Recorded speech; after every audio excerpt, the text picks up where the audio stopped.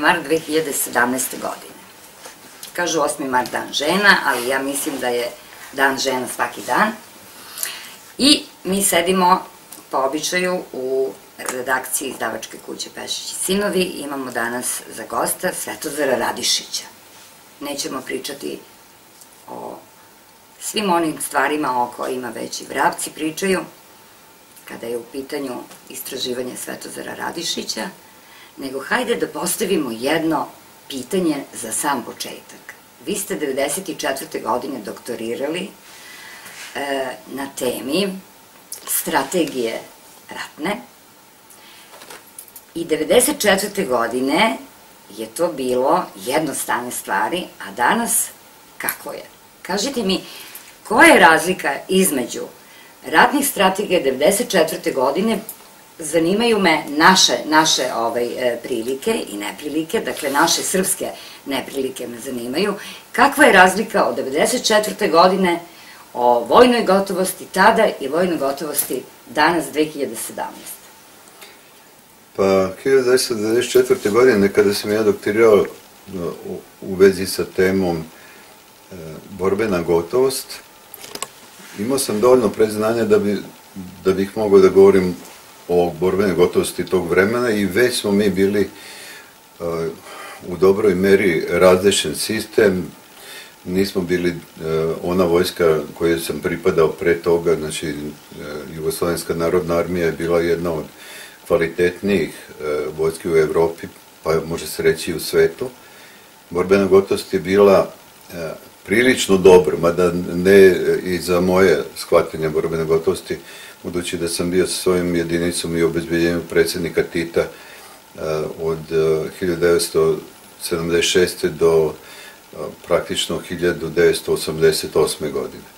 Nešto dok sam odlazio u Karadžorđevo, a posle toga u, u, kao komandant diviziona u Titovoj gardi. Dakle, znao sam dosta o borbene gotovosti, a ovo je bilo teorijski i mislim da smo mi do 1988. godine otprilike bili jedna kvalitetna vojska, iako je ona prema početku rata bila sve slabije jer se izdvajala sve manje sredstava, posebno za naoružanje. Ne možete da budete borbeno spremni ukoliko nemate sa čim da ratujete. E sad, porediti to vreme 1994. godine, kada sam stavio tačku ovaj, posle istraživanja, sa ovom godinom je nažalost e, e, takvo da je sad gore nego što je bilo tada. Dakle, vi sad govorimo o ratnim godinama, mi smo već svi zajedno na prostorima prethodne Jugoslavije bili u ratu, a sada smo u miru i možemo slobodno da kažemo da je borbena gotovo sada slabija nego što je e, bilo u to vreme iz prostog razloga što su oružene snage mnogo manje, što organizacija e, Vojske Srbije e, ne obezbeđuje borbenu gotovost e, ni u teorijskom smislu kako treba, a potrebno ispoštovati kada neka vojska radi i kad se priprema za odbranu, ispoštovati sve korake, što znači imati kvalitetnu teoriju koju mi nemamo. Znači ja sad izazivam svakog naučnika u toj oblasti vojnih nauka da kaže da je imamo. Naravno, manje znaju nego što su znali ljudi u naša vremena, poput recimo nekih od vrhunskih naučnika, kao što je recimo Dušan Dozet bio u naše vreme, kao što i sad general Radovan Radinović, koji ponegde se pojavi, kad ga neko pozove, ali u svakom slučaju ljudi iz tog vremena su mnogo više znali nego, nego današnji oficiri i današnji oficiri e, znaju uglavnom engleski jezik da bi dobili zadatke od, od strane naših bivših neprijatelja. A ono što je važno, posle teorije je važno da postoji strategija odbrane.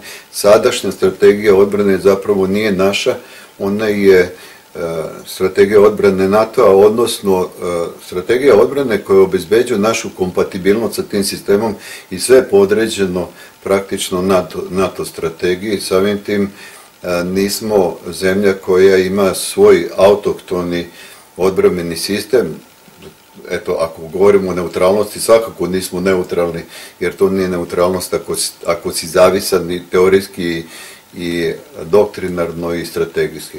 Doktrina odbrane još manje iz prostog razloga što e, ja ne znam koliko oni uopšte znaju šta je doktrina odbrane, sada mislim da, da se i ne, ne izučava na način na koji se izučava e, kod nas i onda naravno kao posljedica e, toga je svakako da je regulativa i praksa ne obezbeđuju pravu odbranu, jer ovde sad narasta recimo vojska Kosova, tako je zovu, tači priča o novoj vojsci i kaže da će to uraditi e, bez obzira šta misli i Evropska unija i NATO, a onda možete zamislite kad imate u takvom ambijentu jednu vojsku koja se ne, ne priprema e, na sve mogućnosti jer, e, jer je pod prismotrom naših okupatora, a okupatori su oni koji su inače podržavali sve ove snage na našim prostorima od Hrvatske vojske, vojske nekadašnjih naših muslimana, a sada bošnjaka i znači prosto uh, naravno i sada šćipetare podržavaju i uh, to govori samo o jednom ambijentu u kome imamo sve više izazova, sve više nekakvih bezbednostnih problema, a vojska ne, nič, ničim ne pokazuje da dobija sredstva, naravno priča se o tim sredstvima, ali isto uh, verujte kad neko se razume u odbranu, on mora da zna i od koga je uzeo naoružanje, od koga je zavisan kada uzme naoružanje, da li će dobiti, nama se događalo i za vreme Josipa Broza Tita, da recimo laviramo između istoka i zapada i onda recimo Rusi nam ne isporuče sve uh, što ide uz raketni sistem zato što uh, vodi računa o tome da ne bismo potrebili rakete protiv njih. Znači uvek e, je taj e, sistem otvoren do te mere da, da mi e, sada imamo zaista veliki problem kako da se opredelimo u ovom vremenu u kome Rusija sve više jača, ima sve veći uticaj na balkanski prostor, istovremeno slabi zapad, jer se dogodilo mnogo toga i u Americi i u Evropskoj uniji što govori o njihovom slabljenju, ali e, nisu toliko slabi da ne bi e, uticali na nas i, i na naš odbrambeni sistem i da nas ne bi e, stavljali u te neprijatne situacije u vezi sa odbranom i sa borbenom gotovošću. Znači, ako možemo da, da, da rezimiramo, naša e, odbrambena gotovost je sada veoma, veoma loša. Pa onda je to... Možemo tako kratko da kažemo? Da, može slobodno da se kaže, pa to lepo rečeno, veoma, veoma loša. E, ja ću reći samo na primer, e, nekom primeru, jel, da bi se to moglo razumeti. Mi smo recimo tamo negde, e, ja mislim negde 1985. godine kupili Migove 29. Potpuno je bilo čudno da kupimo nekompletan sistem. Dakle, to je bilo neki 16 aviona, I, a sad imamo pet, recimo, ili četiri. Pričaju čak i manje. Znači, sad je pitanje koliko su oni sposobni. Znači, kako imaš, e, neka bude četiri, a ovamo 16, četiri puta je slabija samo u toj komponenti vojska. Znači, četiri puta je slabija samo u komponenti jedne vrste naoružanja. A ne treba zaboraviti umeđu vremenu da su naši vladari, koji su sarađivali sa okupatorom, poput Tadića, e, naše tenkove topili i, i rakete nam uništavali. Dakle, oni su se bukvalno predelili za neprijateljski odnos prema, prema sobstvenom narodu. Narod je odvajao od usta e, za budžet i za naoružavanje da bi, da bi se branio eventualno u nekom vremenu, a mi smo došli u tu situaciju da su umeđu vremenu, znači te snage toliko e, padale i tehnički, ali e, svakako i organizacijski, jer ja mislim, u teoriji organizacije dovoljan je jedan primjer koji je nepobitan, volio bi da vidim ministra odbrane koji bi to odbranio. A to je da ako je savremeni rat toliko kompleksan, da se vodi u jako mnogo dimenzija, kao što je ekonomska dimenzija, informacijna dimenzija, e, religijska, kulturološka, e, čak i sportska, ali neka bude samo u informaciji imate i medijski rat, imate mrežni rat, imate hakerski rat i tako dalje. Ispostavi se da mi nemamo odbranu ni od jedne od tih dimenzija, zato što Ministarstvo odbrane nije razumelo da mora da ima odgovor u svakoj dimenziji, što znači da svaka dimenzija rata mora da ima svoje najmanje referat, pa ocek, pa više od toga odelenje i konačno upravo ukoliko je to jako važno. Ako vi u religijskom ratu od strane papa e, ili Vatikana ili papstva kao fenomena imate stalno preveravanje duša, a ne postoji niko ko, je, ko brani od toga i nema nikakve mere da se to ne dogodi, onda govori o tome da taj koji vodi računa odbrani uopšte ne zna da je njemu i, pri, i ta dimenzija pripada. Dakle, ne, ne pripada vojsci odbrano hakerskog rata, ali pripada e, ministarstvu odbrane. Znači, neko mora da zbrani, recimo, od, od ekonomskih loših rješenja.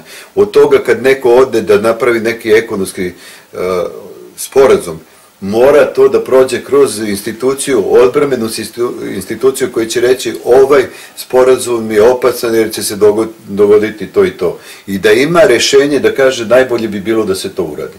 Cela situacija u, u kojoj se mi sad nalazimo, odnos prema Hrvatskoj, odnos e, sa Bosnom i Hercegovinom, odnos sa, e, sa takozvanim Kosovom. Ja više ne znam ni kako da ga zovem, e, sa tim narodom koji eto uspeo da za sto i i neku godinu postane narod. E, sa svima imamo e, jako mnogo problema, a pritom odbrambeni sistem uopšte nije pripremen za takve probleme. Dakle, sada ste pomenuli nekoliko vrsta ratova. Religijski rat, ekonomski rat, medijski rat i tako dalje, i tako e, mrežni rat i tako dalje. E, e, mi zapravo živimo u jednom vremenu kontinuiranog rata, kontinuiranog rata, ali ja ovde hoću da se ograničim na onaj rat-rat, jel tako? Za koji, za koji znamo, koji smo prvo počeli da zovemo rat, rat oružjem, jel tako? Pa vas sada u kontekstu toga pitam, e, misleći na taj rat, da li vi mislite, da li vi mislite da nam je takav rat neizbežan u nekoj skorijoj budućnosti? Dakle, rat oružjem. Da li ćemo imati takav rat na osnovu vaših istraživanja u nekoj skorijoj budućnosti na našem terenu ponovo? Ja mislim da će učiniti sve naši neprijatelji da mi budemo u takvom ratu. Dakle, da će nastaviti da nas troše, govorim kao Srbin, jer e, istorija srpskog roda, posebno u 20. i 21. veku, govori o tome da je neko zaista učinio sve da nas utroši i to radi na razne načine, ali eto, ako govorimo samo o fizičkom ratu, koji ja moram da kažem da je jedno od najnaivnijih vrsta ratova, jer mi njega jedino i prepoznamo, to je pojavni rat fizički vidni, što bi rekli, i narod kad razmišlja o ratovima uvek pomisli na taj rat u kome se koristi od luka i strele preko pištolja do rakete, znači sredstva. Ja mislim da to nije najopasniji rat, ali u svakom slučaju mislim da će neprijatelji sve učiniti da mi učestvujemo u tom ratu, uprkos tome što i naše administracije nastoje da ne budemo jer, jer insistiraju na neutralnosti. Ukoliko bismo uspeli da obezbedimo, obezbedimo neutralnost, svakako bi to bilo ono najvrednije što je moguće, onda je potpuno nevažno ni da li imamo oružje. Ali ako ne uspemo na, u tome, a očigledno nikome nije stalo e, da sasluša, znači, mislim, znači, gledao sam u poslednje vreme svi vladari koji su se izmenjali, mislim da ne znaju nikako da, da zamole, da, da nas puste na miru. E, nas bi trebalo i radi civilizacije i radi ove planete, e, taj srpski rod, zbog svega što se u, u istoriji dogodilo vezano za Srbe da nas puste na miru, da mi ovakvi kakvi smo e, pokušamo da nešto uradimo od te svoje budućnosti na neki način da e, pokušamo da izvidamo rane, makar ove e, najnovije koje su nam se dogodile od 1991. godine do danas. Jer mi smo sve vreme u ratu, toga smo svi svesni, meni to drago. Jedino što sam govorio godinama, možda sad i već 30 godina unazad, kako smo sve vreme u ratu, I meni je drago što ste vi počeli sa, ti, sa tom rečenicom, kažete mi smo svesni toga da smo sve vreme u ratu. ali to sad rat, e, taj rat je od postanja, ovo nije samo srpski rat, ali činjenica da e, je ovde na, na našem prostoru, možda i geostrateški i geopolitički, na nezgodnom mestu, gde se možda i ne grade kuće, što bi rekli, e, dogodilo taj neprestani rat u svim mogućim dimenzijama. Fizički rat, velika bi bila stvar da, da zamolimo i Ruse i Amerikance da nas puste na miru, ako neće da nam grade ono što su nam porušili, neka nas vas puste da sami to izgradimo ako, ako znamo ili neka nas, neka nas puste toj našoj gluposti, pa sami da, da se mučimo sa tim što nismo toliko pametni da bolje živimo, jer oni nas svi trpaju u svoj sistem. Znači, ja volim uh, Ruse svakako više od uh, svega na zapadu, jer je to bratski narod, ali bi zamolio i Ruse da nas ne diraju, da nas puste, da mi sami to pokušamo šta, šta znamo, a od zapada ne očekujem da će nas pustiti na miru. Možda je nama ispas da, da Rusi do te mere ojačaju da ne sme da nas dira zapad. Da, pod, pod uslovom da mi ovaj, e, budemo uz našu braću, je li tako? E, rekli ste malo pre, rekli ste malo pre, e, mi Srbi takvi kakvi smo. Pa kakvi smo mi to Srbi, ajde kažite?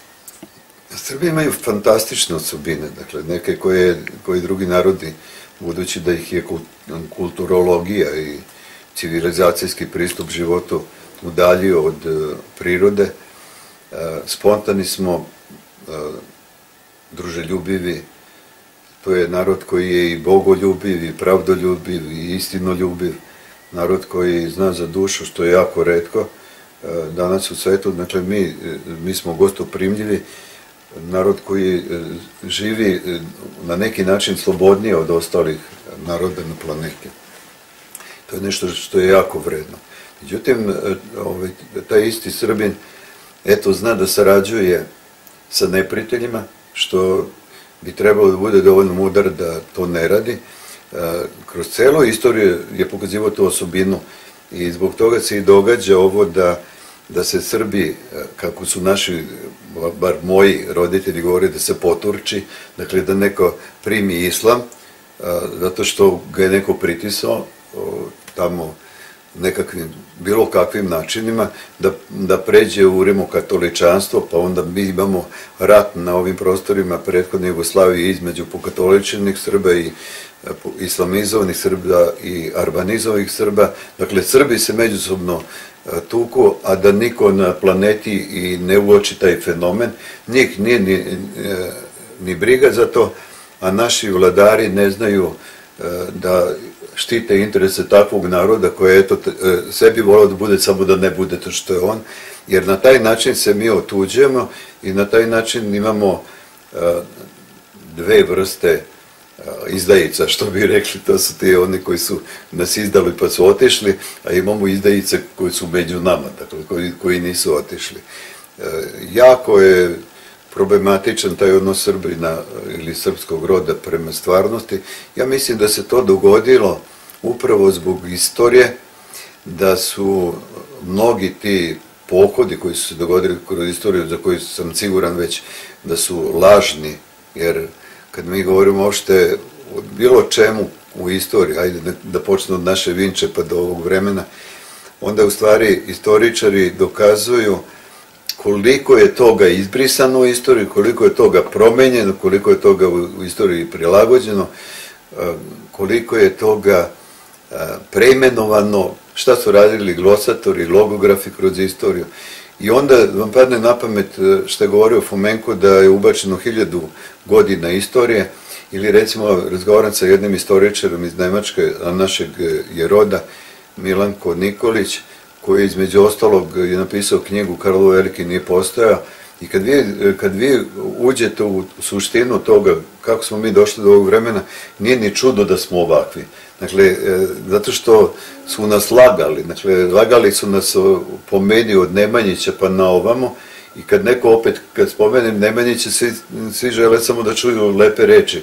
Kad e, spomenemo Vuka Karadžića, svi žele da čuju samo najlepše o njemu. A onda kada to ne radite, ljudi misle da rušite svetinje.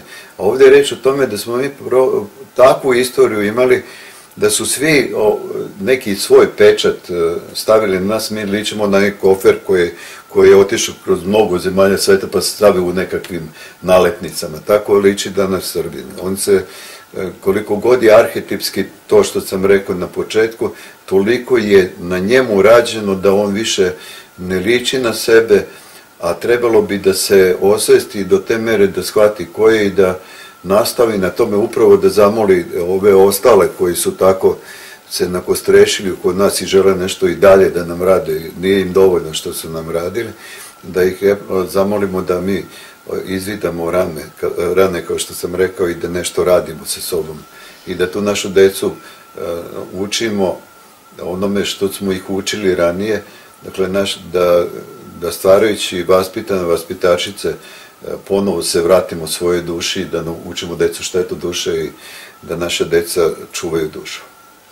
Dakle, vi čvrsto stojite Svetozare na stanovištu da je potrebno e, osloboditi istoriju, pre svega, ja to tako figurativno kažem, a to ovaj, e, nije ni malo figurativno, to je zaista ono što je, e, čini mi se, apsolutno neophodno u ovom trenutku, e, skinuti tu jednu ovaj, e, iskrivljenu i sfalsifikovanu e, interpretaciju koja nam se neprestano nudi i nudila nam se stalno i tako dalje. Dakle, početi od istorije, a onda ovaj, E, doći do današnjeg dana, prosto nešto što obavezuje za budućnost, jer ne, bude li, ne, bude, e, ne budemo li znali e, ono što je bilo u pravom svetu, svetu tog događanja, dakle, nećemo imati apsolutno pravo na, na, na budućnost, niti na, na to da se naši potomci nas na kraju krajeva jednog dana ovaj, da se sećaju onako kako treba, jel?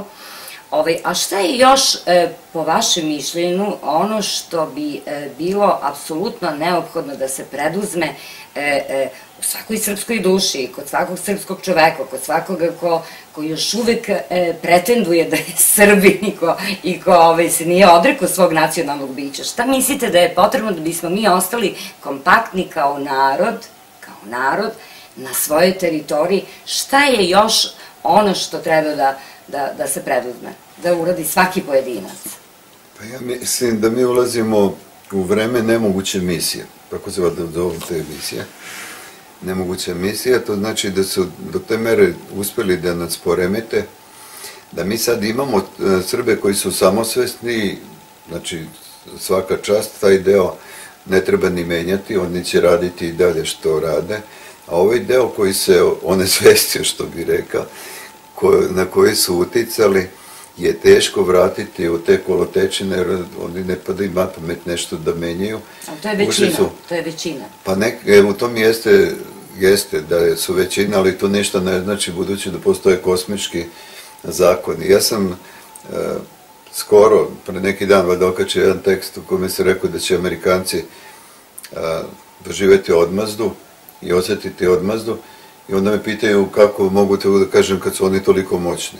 A ja kažem, to radim na osnovu prostog znanja. Znači, danje je otprilike ovako, postoje kosmički zakoni, postoje istorijski i kosmički ciklusi i kada te stvari dve upotrebite, vi u stvari vidite da se stalno nešto menja i da će se ponovo ciklično dogoditi E, njima ono što su oni nekom radili. To je po zakonu e, kosmičke ravnoteže, koje je neko nešto uradio, njemu se to kad tad vrati. To je druga stvar, da će se vratiti u ovoj generaciju ili nekoj drugoj, u svakom slučaju ta ravnoteža je neophodna radi funkcionisanja kosmosa. Što znači da će oni sve genocide koji su napravili od indijanaca, pa recimo one Hirošime i Nagasaki i slične, a mnogo su zla učinili, platiti, možda ne ova generacija, ali na nivou arhetipa sigurno će im se to vratiti, to je ispo kao i onaj zakon plaćanja,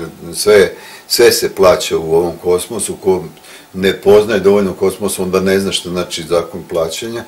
E, postoji takozvani bumerang, isto kao kosmički zakon, postoji zakon setve i žetve, Ništa to nije mistično. Ovo je, kada, kada to govorim, samo prosti ljudi misle da je možda ja to pričam nešto što bi volao da se dogodi. Ne, to nikakve veze nema sa tim. Drugo što, kako funkcioniše, ajde, kosmos u smislu frekvencija i u smislu ono što ja istražujem, znači istražujem i, i frekvencije i frekventne op, o, ove opsege prosto da bi shvatio kakva je ta pojavna stvarnost, po čemu mi razlikujemo sve oko sebe, znači odnosno naša čula kako, kako shvataju stvarnost, e, to radim, ali najvažnije što ja trenutno izučavam poslednjih 15-20 godina je moć misli.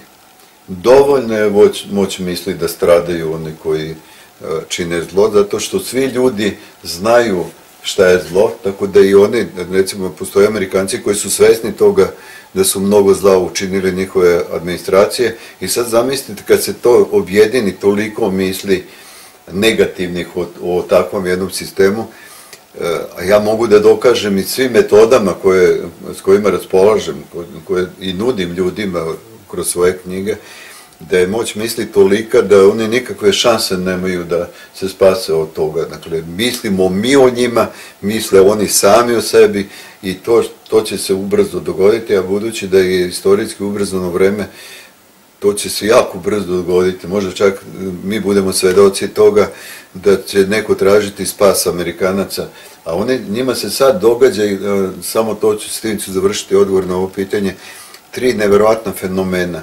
E, kod njih je proces afrikanizacije, e, proces islamizacije i proces hispanolatininizacije.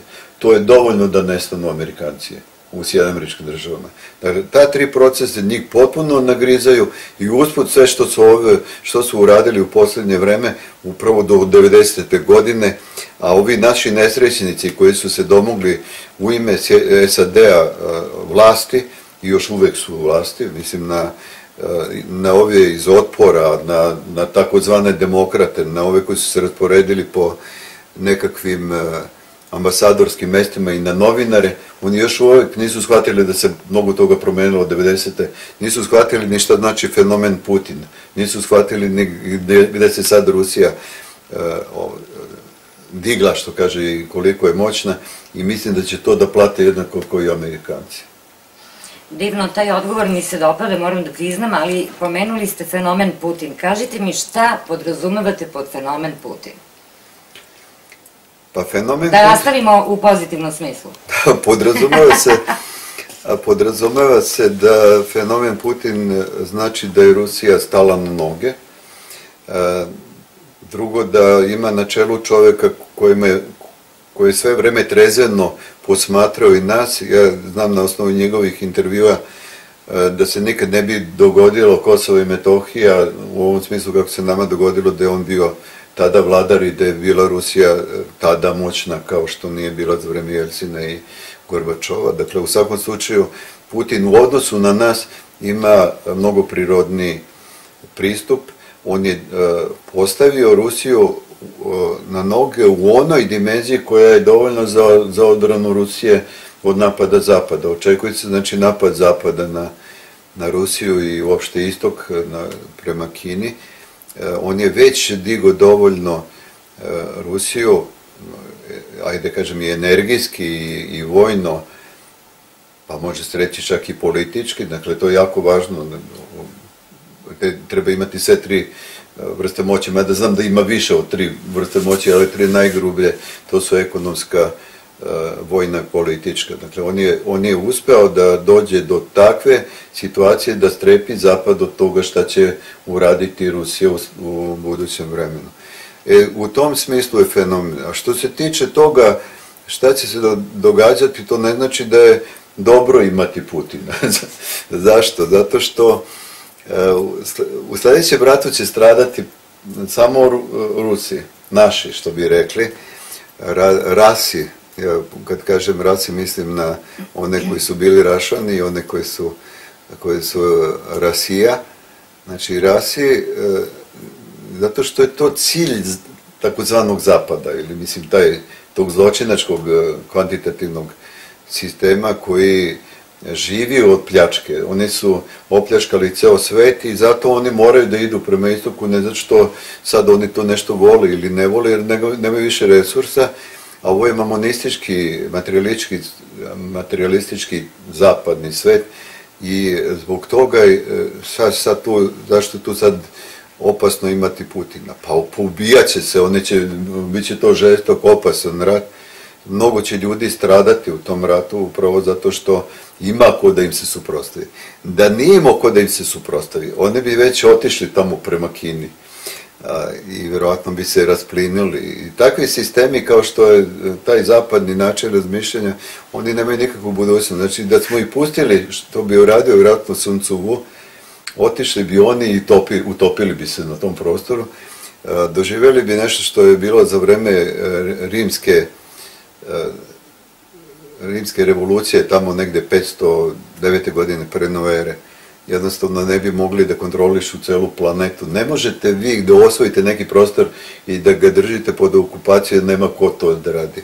Oni sad to rade preko marionetskih režima. Zato smo mi u okupaciji, jer su svoje marionete postavili za vreme 5. oktobra u Srbiju i mi nas drže, ne drži nas zapad, nisu oni stavili direktno svoje ljude, ali su stavili marionete kojima oni upravljaju, zato mi nemamo odbranu, zato mi nemamo ni jedan veliki sistem pod svojom kontrolom, zato nas iscrpljuju u svim dimenzijama, od e, rudarstva pa sve do financija, znači drže nas potpuno pod, pod kontrolom i naše vlasti e, laviraju da bi ostale na tim svojim funkcijama, da im narod ne bi sudio i trudeći se da budu uvek tu da jednog dana ne dožive da im neko sudi zbog toga što su sve uradili za, za vreme svoje vlasti u korist neprijatelja. Da, e, zapadni istoričari su u proteklih 50 e, pa i više godina e, pokušavali da nametnu jednu, e, jednu ideju kao činjenicu, a to je da je rat zapravo progres čovečanstva. I kada su bile različite polemike na temu, recimo, prestanka jedne civilizacije, pa onda e, e, premoći druge i tako dalje, onda su oni uvek e, pokušavali da prosto u istoriografiji kažu da je to bila, bilo, bio neki način progresa. Međutim, mi imamo, mi imamo činjenicu da na našem području, na području Srbije, dakle u Vinči, E, pre 7000 godina imamo jednu ovaj, pojavu da se civilizacija razvijala u miru, jer arheolozi nisu pronašli nikakve tragove rata hiljadu godina. Dakle, sada imamo jedan paradoks. E, s jedne strane, vodeći istoriografi sveta kažu da je rat progres, a mi imamo činjenicu da se hiljadu godina jedna civilizacija razvija u miru i harmoniji, ali bez rata. E sada, ja vas pitam kao nekoga ko proučava rat.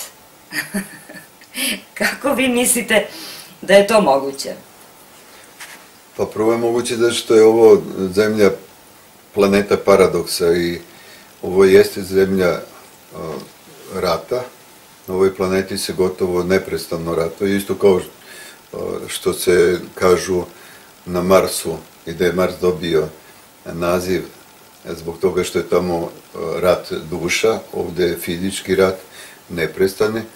I zato je moguće da neko i priča priču da, da, rat, da se u ratu napred, napredu iz prostog razloga što vidi da e, za svaki rat se spremaš, pa onda kad se spremaš za rat moraš da napraviš neka nove tehnološka i tehnička rešenja koje su bolje od, od protivnikovih ili nepretiljevih, pa onda kad, kada to uradiš, onda neprijatelj isto tako rade, ko mi protivionci i piloti. E, dakle, nekad su naoružani e, piloti od nas protivionac, što ja protivionac, zato tako pričam, a onda posle toga kažu piloti svaka šuša ima nešto protiv aviona, i e, drže čak pojedinac može da sruši aviona kad su morali celi sistemi da se koriste.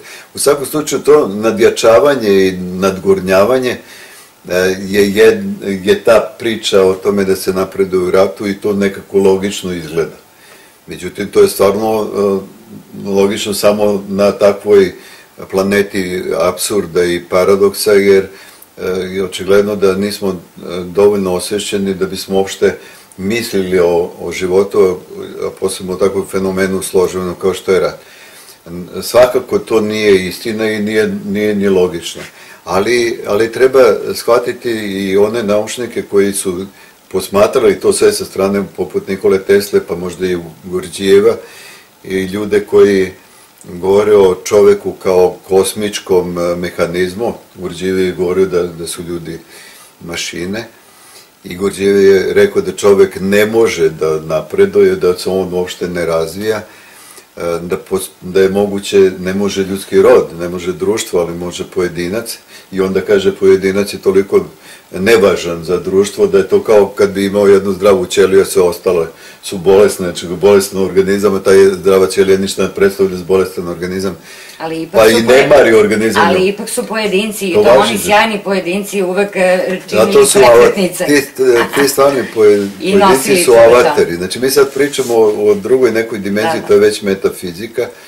E, samo u metafizici je, je moguće nešto raditi i to i rade ljudi. Zato ja i mislim da se planeta se nalazi u periodu osvešćivanja i to ubrzanog osvešćivanja. Koliko god to ne odgovaralo e, fizičarima i sistemcima, e, taj proces je u toku, sve više ljudi shvata i šta su i kak, gde žive i kakvi su to odnosi među ljudima i šta je to pogubno i da smo na ivici ambisa i da ako ovako nastavimo uništit ćemo i majku zemlju, uništit ćemo i, i vodu i vazduh, vazduh i hranu i tlo i sve ostalo. Znači mi, mi smo prosto postali opasni po majku zemlju i opet se vraćam Gurđeve i rekao čovečanstvo je radi zemlje, majke zemlje, a ne obrnuto. A mi mislimo da, da je majka zemlja, znači ta planeta koju, koju smatraju mnogi naučnici koji malo više znaju, posebno iz kvantne fizike ili tipa Nikole Tesle, da je zemlja živa i da je stvari sve živo u kosmosu, pa samim ti majka zemlja uh, neće dopustiti da ljudi takvi kakvi su nešto urade sa njoma. Da ne pričam više od toga da ne govorim o Bogu, govorim samo naj, e, najniži sloj. Dakle, u svakom slučaju osvešćivanje u toku, ja susrećem sve više ljudi e, tog tipa, razmenjaju informacije sa tom vrstom ljudi i što je važno u vezi sa tim da se kaže da se približamo tom e, kritičnoj masi uma, ili kritičnoj masi osvešćenih ljudi, a onda će se sad dogoditi opet po kosmičkom, prirodnom ili Božjem zakonu, a to je da se jednog trenutka će se dogoditi ta prepolarizacija i ljudi će početi drugačije da misle. Upravo to će se dogoditi onog neminovnog trenutka kada vi stvarno nemamo ni jedna druga rešenja, ali, ali je potrebno da, da čovek dođe do toga da shvati ako ovako nastavi neće imati budućnost, ne, ovdje više nije važno moja generacija, nego ni deca naše dece, ni unuci naših unuka. E, e, znači, vi, e, e, bez obzira što ste rekli da ovaj, su ratovi i jedni, i drugi, i treći, ipak, ipak, šta mislite, kakav će biti sledeći rat? Da li će to biti rat mislima ili će to možda biti onaj završni rat? da se nešto razumemo, meni, meni zato sam se i nasmeo da ne kažem Zato što ljudi kad posmatraju ratovi, toliko, toliko malo znaju i o vojna lica o, o ratovima, kamoli civili. Dakle, mi vojna lica, sretao sam mnoge, čak i naučnike u toj sferi, oni misle da svi ratovi liče na jedan drugi. Nikad se nije dogodio uh, isti rat. Ništa slično nema sa prethodnim. Dakle, kad bi neko mogao da, i znao da misli, on bi rekao ovako, ovaj rat je bio ovako i tako smo mi učili, šta ja znam, od Hanibala pa na ovamo. Znači, učiš tačno kako izgleda koji, koji rat.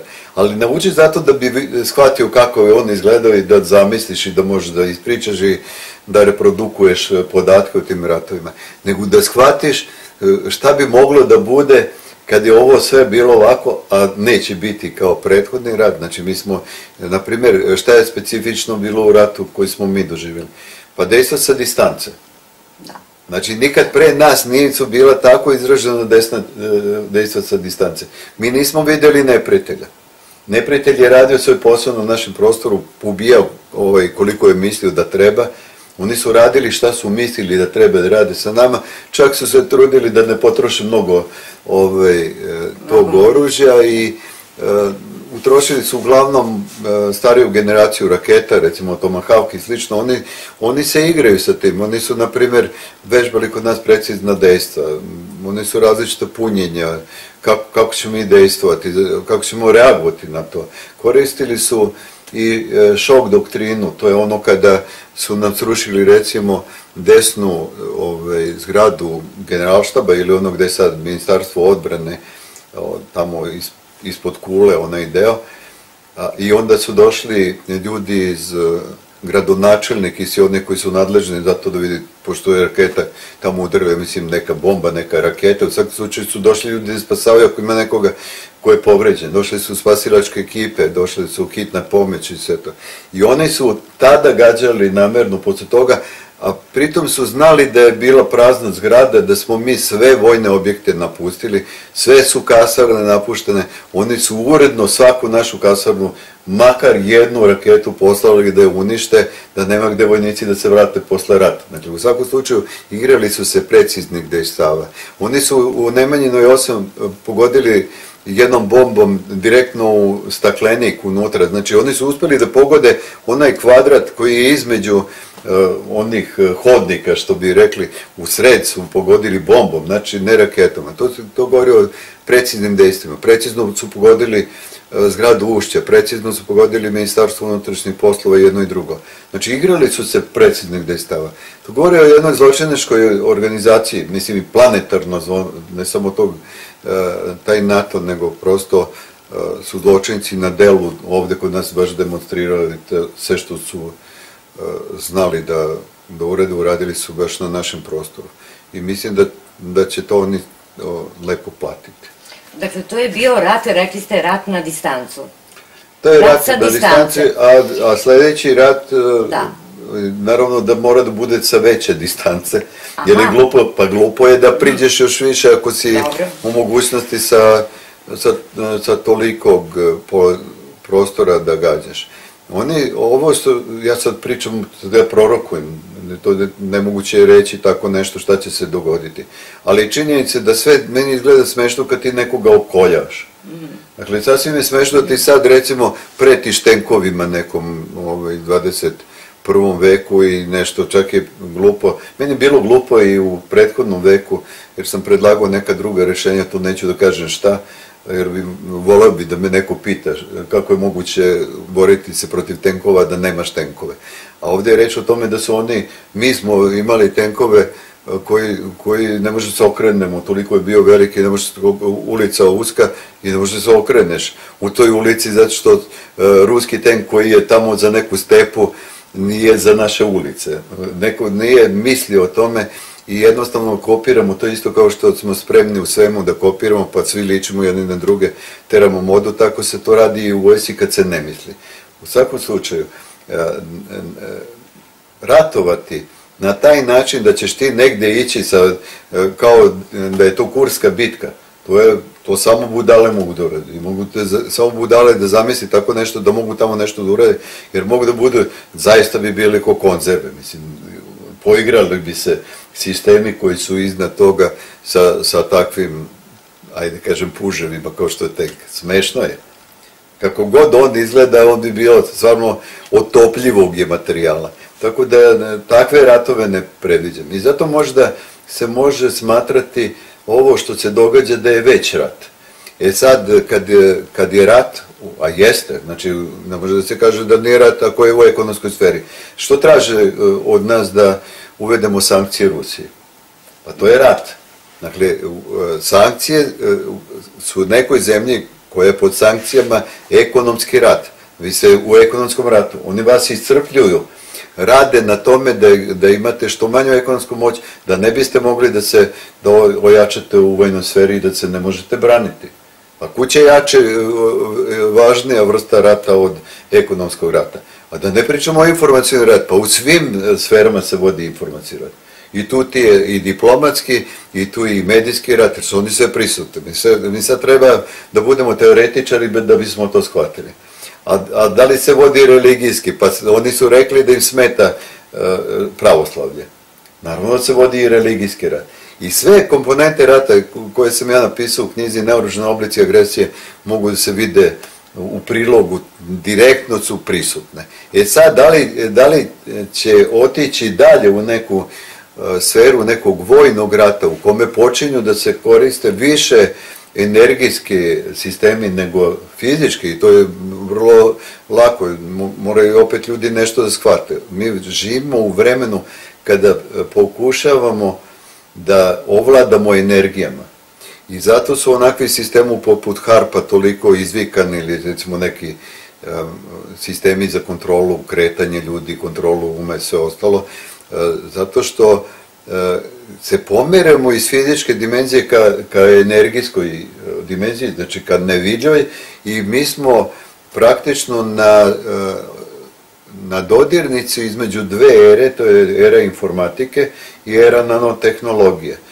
Era informatike nam je obezbedila, evo, toliko da, da se smanjuju svi ti uređaje oko nas, da oni idu ka, ka mikročipovima koji će biti na kraju nanotehnološki i, i nevidljivi.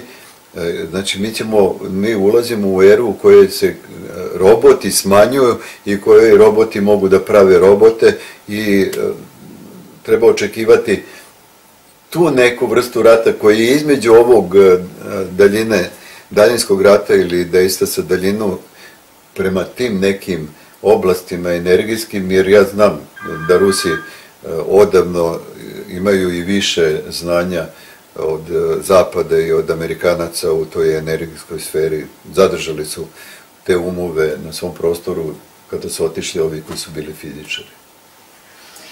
Za kraj pitaću vas nešto što smatram da, ovaj, da će zanimati sve, a to je kako onda u ovakvom vremenu e, da ga zovemo preta apokaliptičnom na osnovu svega što ste sada rekli.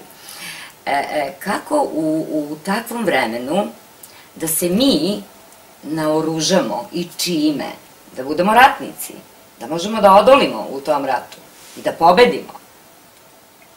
Kako da se naoružamo? To je stalno predano. Kako, kako strategiju da upotrebimo? E, e, šta treba da bude ovaj, naše glavno oružje?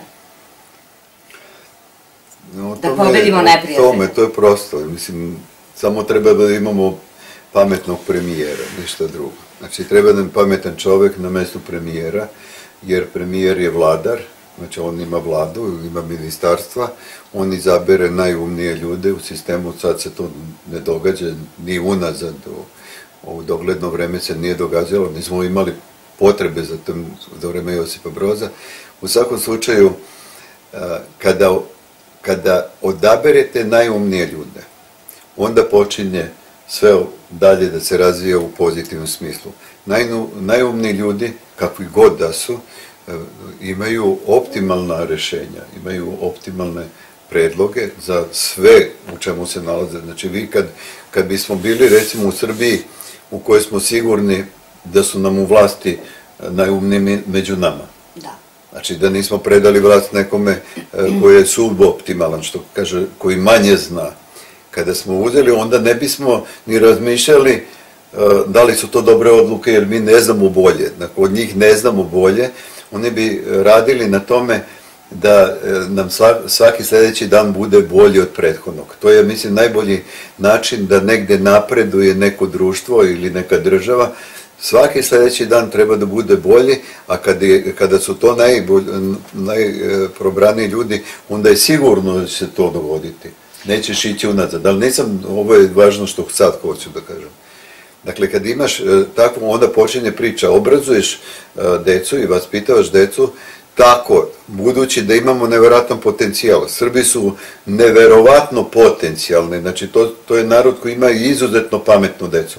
I on to stalno dokazuje i na matematičkim olimpijadama, i na olimpijadama iz svih mogućih predmeta, iz fizike, iz matematike, šaha, gde god smo se mi pojavljivali, visoko su nam rangirana deca. Nama kupuju decu još u petnici. Dakle, kad bismo mi, a to radi Soroš naravno i njegove, i slične ove, Sosokava i slične fondacije, znači neprijateljske koje, koje usisavaju naše sve i dušu nam usisavaju. U svakom slučaju, kada bi učili decu, kada odu negde, da ne beže od, od sveta u kojem se žive, ja nikad ne bih rekao, nemojte decu da idete na zapad. Ne, ali bih pripremio, kao što to rade kinezi, ja bih, ja bih rekao, kada odete na zapad, naučite maksimalno i budite svesni da ste to što jeste.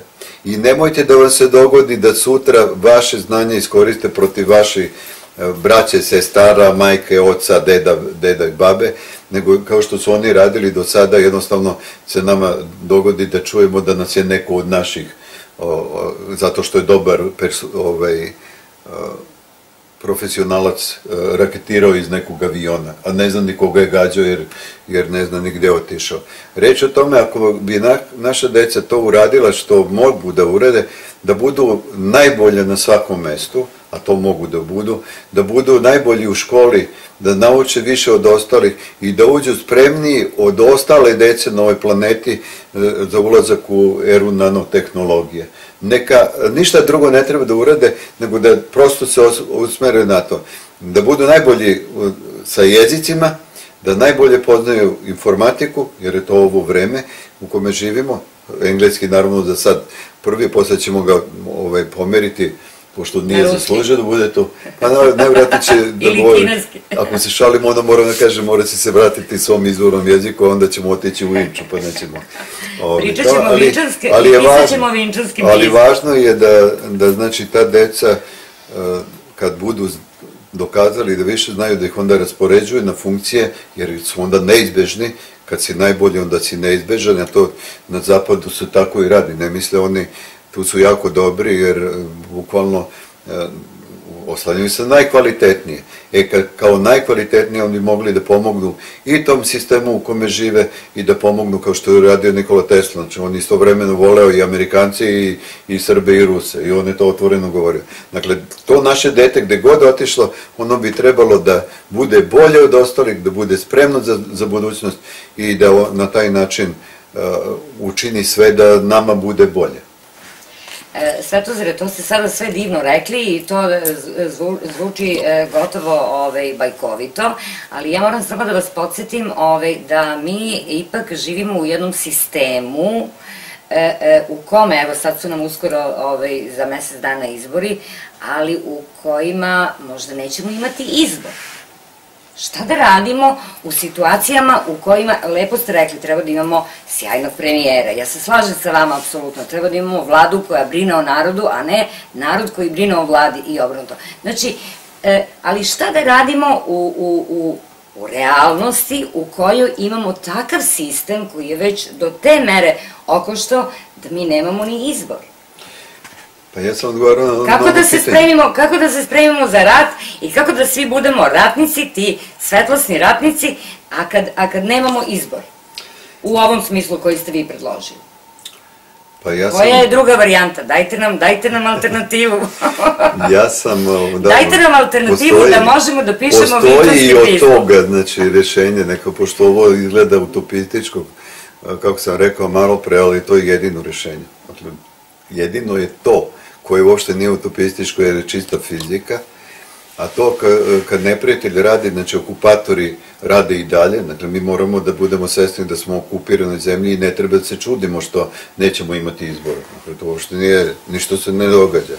Nama se ništa ne događa što je nepredvidivo i što se nije znalo. I kogod je Iole razmišljao, on je znao kako to izgleda i šta će se nam dogoditi. Znači, mogli smo pre ratova da zaključimo da ćemo, da rat, ćemo rat izgubiti. Ako ti recimo imaš nasvan sebe 19 najjačih zemalja na planeti, pa to samo budala misli da će pobediti 19 zemalja u toj sferi u kojoj, u fizičkoj sferi o kojoj smo govorili.